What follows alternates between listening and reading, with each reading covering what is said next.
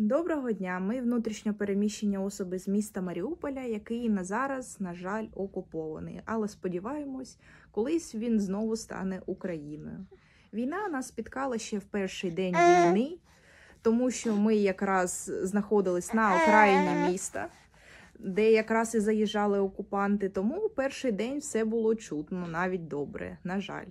Ми ж поїхали до Хрещеної, яка знаходилась біля Азовсталю. Ми ж не знали, що буде бомбардувати Азовсталь, тому думали, що там є безпечне місце. Але, на жаль, дуже жахливі події були нами побачені, адже ще в мене хрещена, вона медик.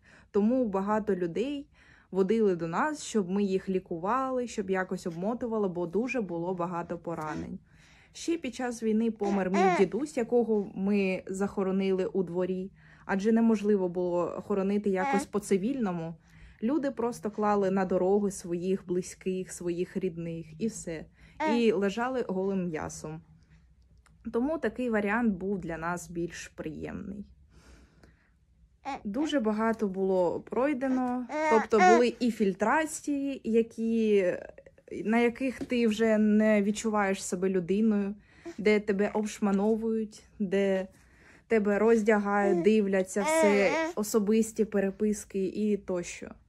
Але зараз все більш-менш добре, якщо порівнювати з тим, що було.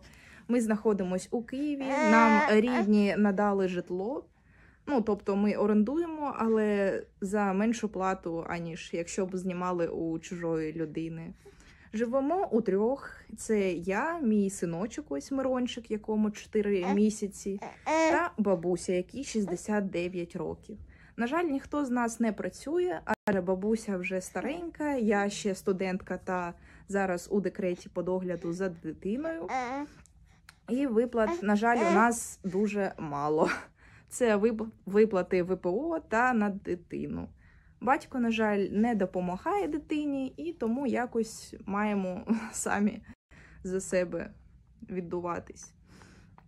Ось щодо гуманітарних організацій, то Червоний Хрест нам надавав допомогу, але не у тому обсязі, що нам був потрібен. Це там підгузки, дитяче харчування. Це основні наші потреби, які є на зараз.